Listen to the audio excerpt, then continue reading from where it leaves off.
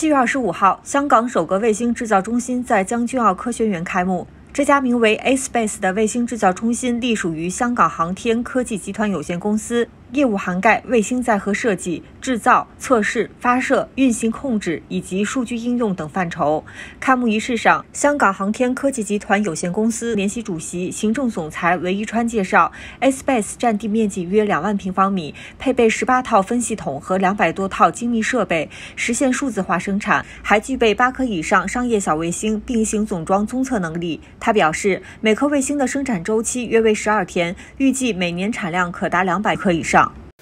预计每年可生产两百颗以上，三十公斤到一百一千公斤的量级的通讯、导航、雷达、光学及碳监测等多种类型的卫星及载荷产品。A-Space 香港卫星制造中心依托香港 WTO 独立关税区的全球化地位，进口及增值税零关税。等优惠政策，灵活高效的人才引进机制，在同时启动的香港卫星测运控中心和数据应用中心的协同配合下，卫星制造及数据服务成本将降低百分之二十以上，卫星的生产效率和数据服务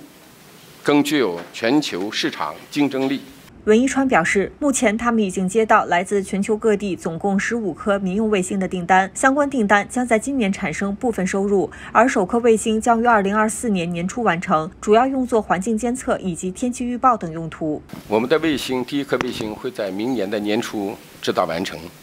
并投放呃呃市场使用，主要功能和作用就是对地球的环境监测为主。